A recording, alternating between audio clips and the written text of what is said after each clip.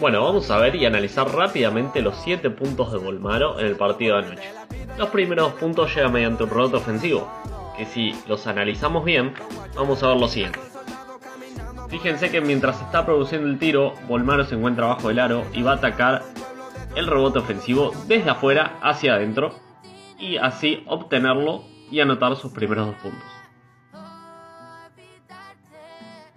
Los siguientes dos puntos van a venir a través de un uno contra uno que va a atacar a su defensor a contrapierna. Fíjense, lo ataca contrapierna y termina anotando dos puntos más. Hasta ahí iba 4.